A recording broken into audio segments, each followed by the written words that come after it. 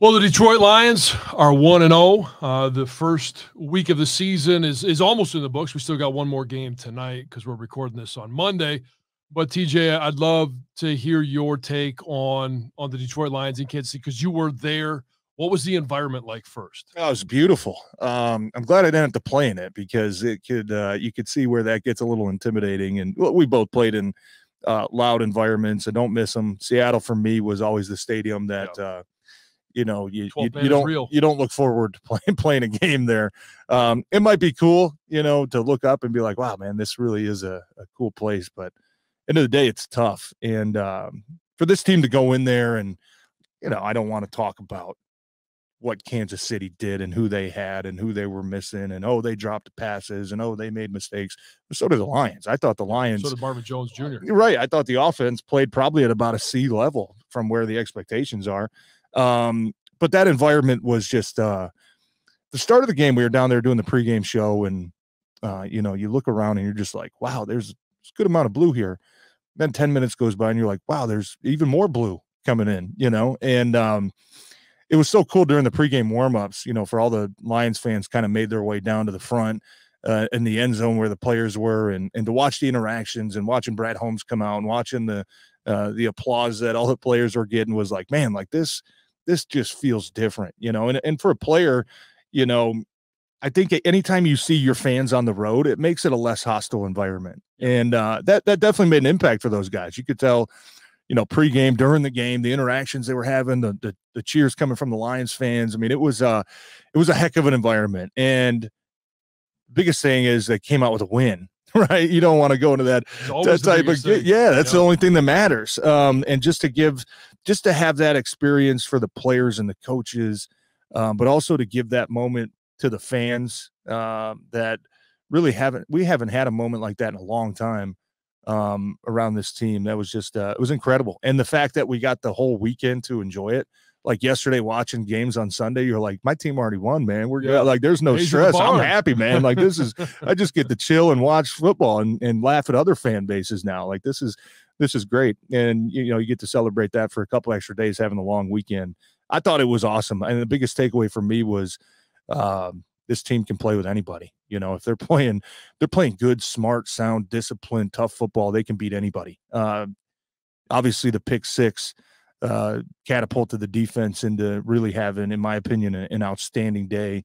Um, especially when your offense kind of hit a, a rut there for about you know second third quarter and not doing much. Um, not only do you hold Patrick Mahomes and and that offense uh, to you know a couple field goals, but you also get seven points on the board for your own team was huge. Um, but yeah, if you play smart football, don't you know? We saw the one turnover. Marvin Jones actually first first career fumble in twelve years. I mean, to just talk about that that streak of just incredible being a, a, reliable guy taking care of the football and then it happens like on his first catch and it's like oh man like in the biggest moment oh, of the season you know, so and, far yeah and you feel bad for him at the same time you know you're not exp- i don't expect to see that the rest of the season from marvin. I know he, he feels the same way but uh, just outstanding man. It was a heck of a heck of an environment heck of a win um, just so cool to kind of be on the sideline watching the celebration and going in the locker room afterwards and and talking to coach and and talking to some players and um, I'll tell you what, nobody was surprised.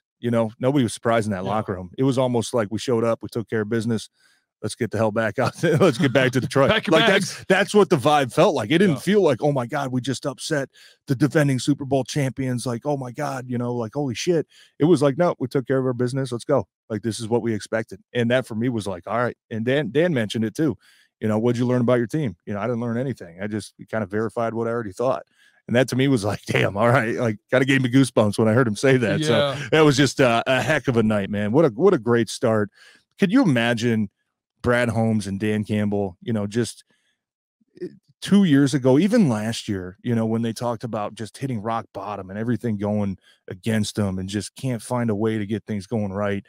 And you turn around and, and look, I know it's only one game, but you say, oh my God, like, did anybody think we were going to be here yeah. it, eh, two years ago? You know, when we when the rebuild was commencing and, and getting started.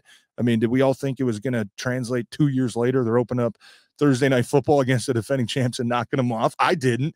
Um, so just incredibly impressive by by everybody involved. Well, and so I know that it felt like you know in the locker room you said that like it was it was kind of expected, like you weren't surprised, and you heard it from Dan Campbell, the verification of what he already knew. Did you see Brad Holmes' reaction after the game? Do you have you seen the uh, yeah, high fiving yeah. the fans and yeah. stuff? Oh man, he is uh, some unbelievable excitement, and and. I, he'll tell you too, like okay, this is what I expected, but um, the actions showed that there was a certain amount of joy and maybe a certain amount of of didn't really expect to be celebrating like that in that moment.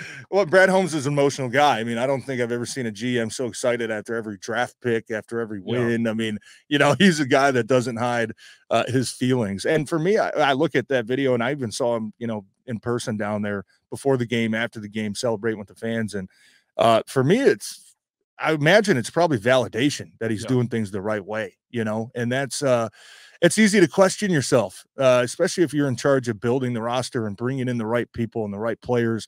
Hey, are we doing it right? We think we're doing it right. We don't really know until we see it, you know, kind of play out.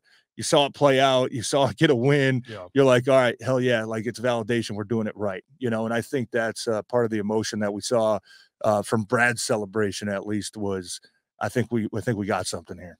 Well, so let's talk a little bit about because I did a, a quick episode um, uh, Friday morning, uh, which there was very little sleep. So if you listen to that episode, I actually really have no idea what I said. It was a little, little incoherent. yeah, you uh, you were you were the traveling man Thursday night, Friday morning. You were very busy. Um, but I want to talk about the impact that the first two rounds had on this game. And Jahmyr Gibbs, let's start with him. I, I know that his his production in that game was it was there. You know, there was quality um, you know, it had seven ca- seven carries for 42 yards, uh, and then on the D on the on, in terms of catching, two catches for 18 yards. So it didn't knock your socks off. The one thing, it was impressive when he was on the field, and you always felt like there was something special that could happen every time he touched the ball. But I thought we would see more of him in the game plan. Did what did you think of his performance, and did you expect to have more touches, more reps, more opportunity? Yeah, I thought it was noticeable. I mean, you, it's a lot of questions, you know, throughout the summer and camp. Like, man, this guy's only you know 190 pounds. Is he gonna be able to sustain, uh, you know, being the lead guy in the backfield? Um, you know, and, th- and then this first run, I mean, he bounces off a couple tacklers. He gets smoked by the safety. The safety goes flying. He's still standing, kind of looks down like, yeah. I was like, oh, sh-. yeah, like not only is this dude fast and elusive, but he, has got some toughness to him as well. Um, I thought his impact was was huge. Um, I maybe expected him a little bit more only because, you know, I know Ben Johnson the last couple weeks was like, man, we're going to use him in ways you know yeah. people might not think. And first couple drives, I'm like, he's not in there at all. Is that what he meant by nobody thinks he, we're just not I'm not going to use him? Like I guess that I guess he's right too. Um, you know, and then he comes in, he provides a spark, and I, I'm I wasn't surprised that he didn't get uh, a huge workload uh, uh, uh, Thursday night. I, I, think that anytime, especially week one, you probably want to go with um, guys that, and I'm not saying Jahmyr Gibbs is unreliable, but guys that have proven yeah. that they're the guy, right? And David Montgomery has done that. He has proven that he is a reliable guy. He has proven that he could be a bell cow uh, running back, right? I don't think you want to throw too much at rookies week one, especially in that environment, especially Thursday night football prime time. They could have a tendency to try to do too much, um, which can backfire and hurt your team. And, and we all know that, you know, they got away with the fumble there, but not many times you're going to turn the ball over against a good team like that and and uh, come out with a win. I, I thought it was probably a, a well balanced attack, and I'm sure even starting this week against Seattle, uh, we're going to get a heavier dose of of Jahmyr Gibbs. I think that the coaches throughout training camp practices, whatever you think, you know, right? Uh, all right, is he ready for a big workload? We don't want to throw that all on the young kid to start the season off. We don't want him to feel like he's got the weight of his shoulders. We want to, you know, kind of work him in a little bit and let him get more comfortable. And as he gets those first couple runs and catches whatever it is under his belt, let's let him loose. I think we're going to start seeing that um, Sunday against uh, against Seattle. Jack Campbell, uh, his athleticism was on full display with this pass deflection uh, that he had but you know, uh, two first round picks. Um, neither of them started, which again, I'm not going to sit here and criticize that. I really liked when Jack Campbell was in there. I thought he added that tough run defense to be able to, to stuff the the you know the run but I liked his ability to cover running backs and even tight ends out of the backfield. What'd you what'd you see? I I didn't see a rookie. You know, I didn't see a guy that uh, Kansas City was identifying as being on the field and being a weak link and being a guy they could take advantage of, and uh, you know, trying to get mismatches across the board just to try to expose that. You see that a lot with rookies in this league. Hey, he's on the field. We're going after him. Um, they didn't do that, which to me was kind of a like oh, we don't really want to test him. I mean, he did make that play that he made, especially from the end zone view. Oh, uh, you know, kind of dropping back to his right last second, flipping the hips, covering about you know six seven yards of grass there in in about a second to be able to get a hand on that ball uh, was a big time play. I mean, just just the athleticism that it showed uh, you know, 6'5, 250 pound guy with that kind of flexibility, that kind of quickness, that kind of agility was uh, was impressive. Uh, that's going to be huge. I mean, because we we all think that, hey, as this team continues to get better, um, you're going to have games where you force the opposition into throwing the ball. You force the opposition into being one dimensional, and you have to have guys that can cover. And I think Jack Campbell proved that uh, at least in the couple limited snaps that we got to see him, was there's no really concern there if he does have to try to get in that type of game. Um, so I thought his impact was was good too. I thought with all the guys, you know, none of them really looked like rookies. None of them really looked like, oh, yep, he's a rookie. Yep, he's going to learn that one. Yep, I, oh, okay, I bet he's not going to let that one beat him again. Yeah. You know, uh, none of those guys uh, really stood out as doing that. Now they're all going to have a rookie moment at some point this season. I can promise you that but to at least start the season uh, confident, knowing what they were doing, being in the right yeah. spot, not having you know silly little mental errors and, and costing your team a play or a, a touchdown. Um, I thought was huge. Sam LaPorta, five targets, five catches. I thought he played a good game. I I, I really liked his ability to block as well. At the, at the line of scrimmage, he was very effective. And we know Brian Branch, like the pick six. Yeah. That was, it was awesome both of those guys, I'd like to get your quick thoughts. Oh, Brian Branch. I mean, the play on the ball was incredible. Uh, you can't blame Patrick Mahomes for that. It went right through Toney's hands, and uh, yeah. you know, but Branch, the way that he had to kind of pause, reach back one handed, grab that thing, and then finish the play, getting in the end zone, um, was huge. You, you saw the playmaking ability. We've heard about it uh, since OTA started, you know, back in the in the spring and summer. Uh, we've heard about it all throughout training camp. You know, that all this guy does is make plays, man. And and for him to get the opportunity in, in game one to go out there and not only have a pick six, but against Patrick Mahomes in that environment, you know, in that game where you feel like you needed a spark defensively, uh, or else that thing felt like it could have gotten out of control based of based on how the offense was kind of struggling. Uh, the play was huge, and I think you know, with looking at his stats, 38 uh, coverage snaps, I think it was, uh, or it's 38 snaps. He got targeted four times, allowed two catches for seven yards. Yeah. Um, you know, in, in his assignment, and and obviously finished with the pick six. I mean, that is an absolute winning performance every day of the week, and just an impact type guy. And I'll tell you, his development, his ability to be a day one impact player, uh, gives that defense and especially that secondary so much more flexibility.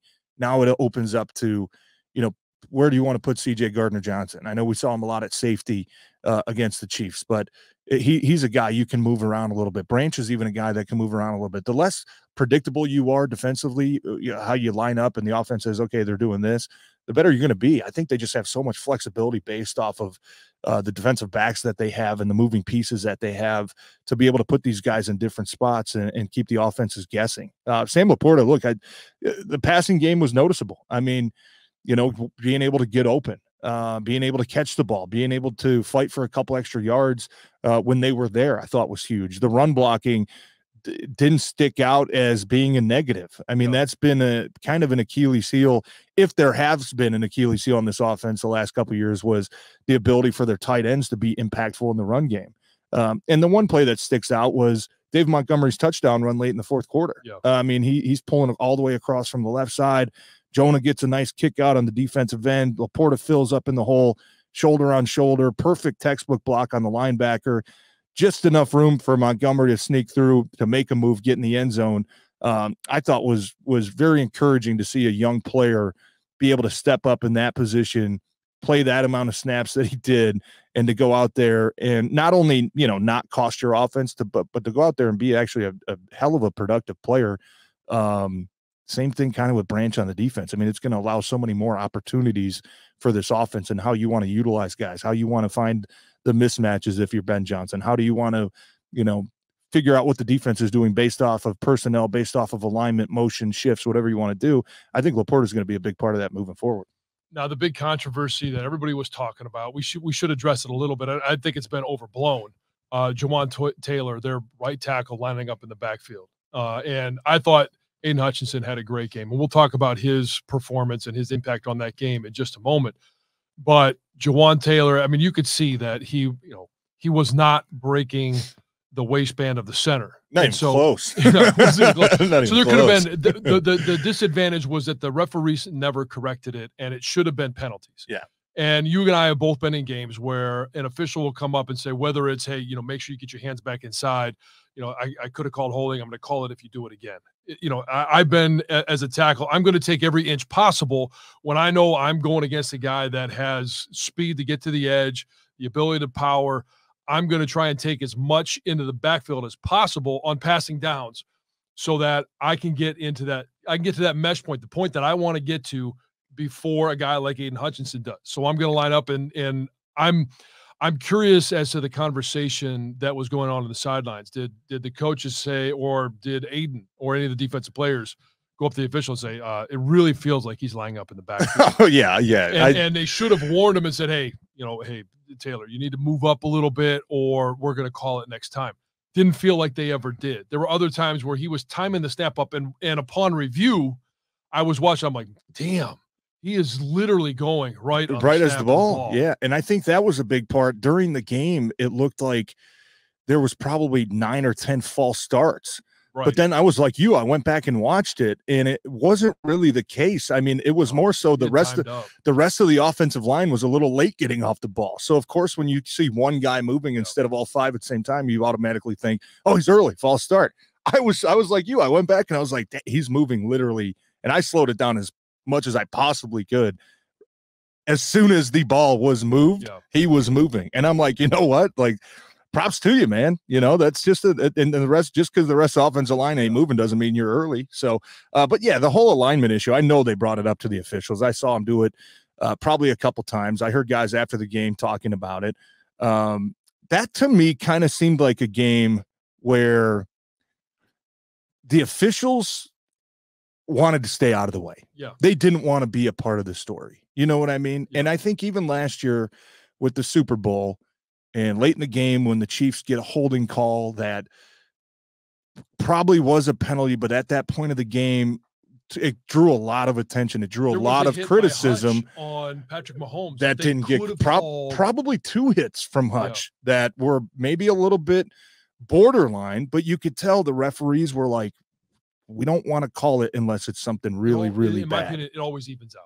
There's a give and a take, and if there's a bad call, if you feel like there's a bad call on one side, chances are there's going to be a, a one that follows up. Hundred percent, Yeah. And I think that even, you know, I mean, the, the, the, the early starts, the right tackle being in the backfield, I don't, those aren't huge in my opinion.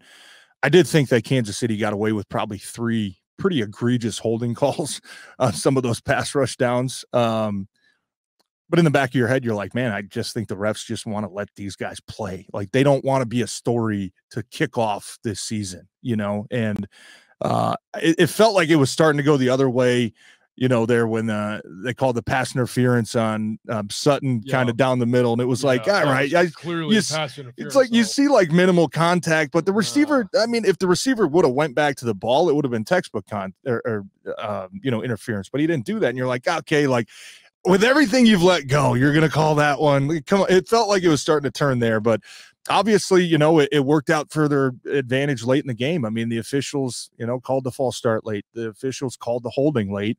Uh, and that's what forced Kansas City in that fourth and 25 that ultimately uh, sealed the game for you. So I didn't think the officials were a huge story.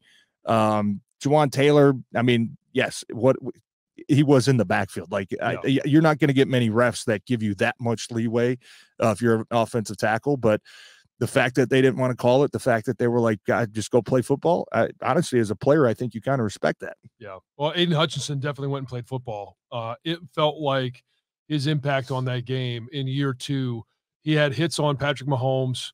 Uh, there were times where he was making plays on running backs, receivers, out past the hash, out past the numbers. He was all over the field.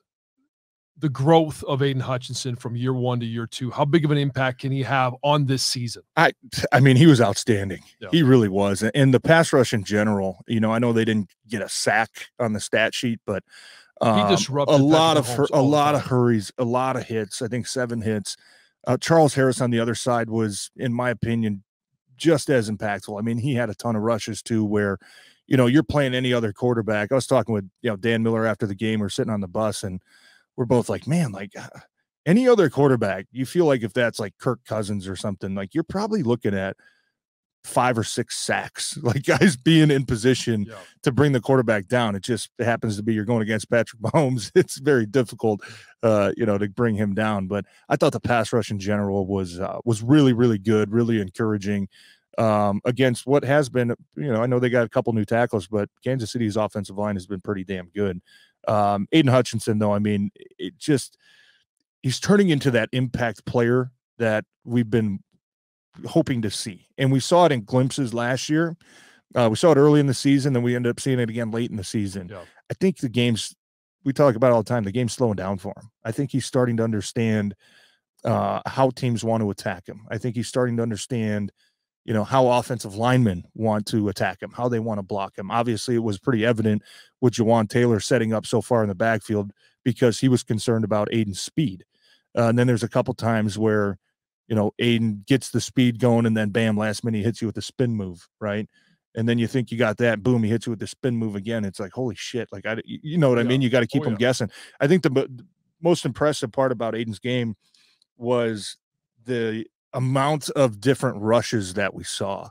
Uh, last year was a lot of power. Last year he had to learn I'm not going to bull rush a lot of NFL tackles consistently, you know, to to to be an impact player, I've got to develop other rushes. And I saw probably at least four or five on Thursday night, whether it was a speed rip, whether it was a, a spin move, whether it was the bull rush, whether it was, you know, kind of the fake bull dip. I mean, you're starting to see uh, these moves develop, which is something you need to have in this league. If you want to be that impact player, you don't see many guys anymore that just up, oh, I know what they're going to do, and they're just experts at it, and there's just really nothing you can do to stop it. Um, there's not many guys like that. So Aidan, you know, with with and even in the run game, I mean, you know, the first play of the game, I know they kind of run a little option at him, but he tracks down the line and keeps it to like a three, four yard gain, makes a tackle, kind of sets the tone. Later in the game, throw a wide receiver screen out to the boundary, and you know, from the defensive end position, he's the first one in there making contact. Um, the effort, the hustle, yeah. like that's everything that Dan Dan Campbell coaches with all of his players. I think Aidan Hutchinson is probably the best right now as, as, at exemplifying uh, what the Detroit Lions are trying to do and who they're trying to be. He was just he was outstanding. He was he was he was noticeable almost every single snap, and that's extremely encouraging um, to where we expect this defense to be and, and how much better we expect them to get even even as the season progresses two more questions for you, and we'll get into more of a scouting report of the Seattle Seahawks later in the week. But um, firstly, a big investment made in the secondary.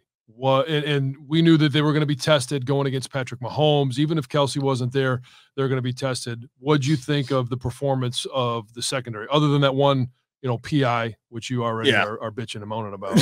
well, in the third and 17, but look, you you understand going into this game, guys, it's Patrick Mahomes. He's going to yeah. make a couple plays, right? Like we can't get down if he makes a a, a tightly contested throw in a perfect yeah. spot where nobody else can get it except his own guy. You know that's going to happen. Uh, I thought the secondary was really good. I did. I didn't see a lot of free runners, uh, which is something that we saw five, six, seven times a game, you know, last right. year at times, just miscommunications all over the place and guys just, oh, wide open again. You know, how the hell does that happen?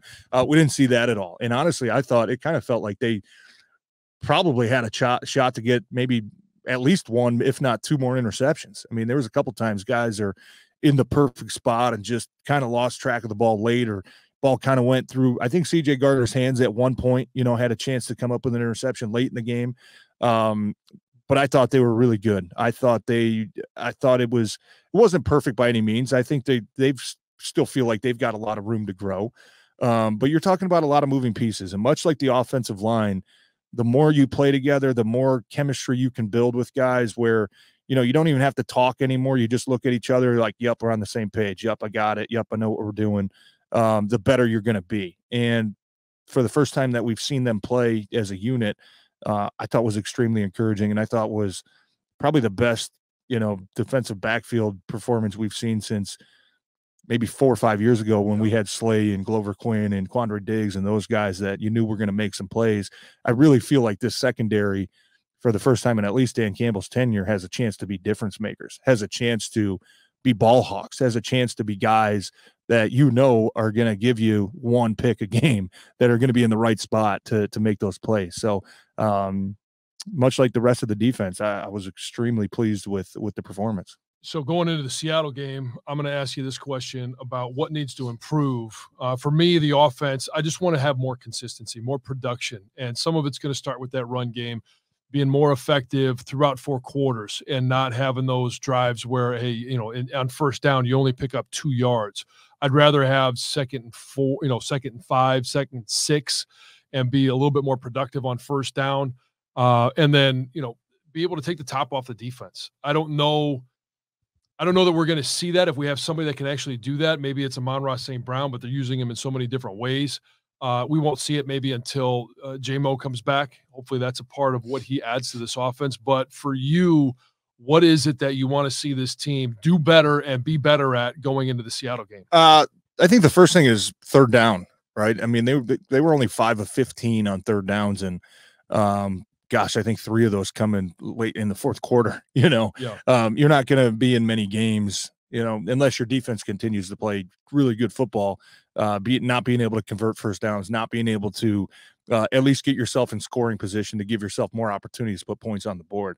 Uh, third downs have to improve, and and like you said, I mean that kind of starts on first and second down. You can't put yourself in third and eights, third and nines, and and expect to convert a whole lot of those. You got to be better on first down, so you give it an opportunity. Hey, third and two, they don't know if we're running, they don't know if we're passing. Now that kind of opens up uh, the playbook a little bit more. And gosh, I'm I'm really on the same page with you, John. I want to see a little bit more uh, big plays, a little bit more explosion uh, from this offense. I know they have the talent. I know they feel like they have the speed to do it. I know, know we they're better at home than they are on the road. A hundred percent, and that's kind of been you know Jared's mo is you look at the stats home compared to road, and it's a big difference. So mm-hmm. I do expect them to get better there this week coming back at, at Ford Field, but I feel like you're missing that explosion piece. You know what I mean? And it feels like Jahmyr Gibbs could be that piece. The more he gets acquainted into this offense, and the more that they start to just kind of let him loose a little bit, whether that's in a receiver role or whether that's uh, you know giving more snaps in the backfield. I think he's really the one guy in that offense right now that you look at and say, yeah, he's got a chance to take everything to the house. I mean, he's just he looks that good. Yeah. Um, so that's for me. It's it's just it's the big play. I do want to see that because that is going to have to be a part of your offense. You you can't just line up and throw a bunch of short passes, intermediate passes. The, the defense is going to completely change how they play. They're going to closer to the line. It's going to be tougher to run the ball, right? It's going to be tougher to throw those play action passes, which is your bread and butter. Um, so I'd like to see them start to let it loose, to start let it rip a little bit more downfield, especially when you get um, some of those one-on-one opportunities, which they had a lot of against Kansas City because Kansas City pressured the hell out of them. Um, take advantage of those one-on-ones. Give your give your give your guys a chance to to go downfield and make big play. Well, ultimately, the only thing that matters is that they're one and zero. Oh. Seattle is coming to town. They're going to get the home opener. It's going to be exciting. We'll have more uh, of a scouting report leading up to the game this Sunday. Uh, TJ will be on the sidelines. I'll be watching from the, the comfort of my own living room, but uh, we'll make sure that we give you a little bit of a scouting report, like I mentioned, as we get closer to game time, and hopefully the Lions starting off this season 2 and 0. Uh, we'll get all of that information to you as well as all season long, your Lions information. Keep it tuned right here for Necessary Roughness.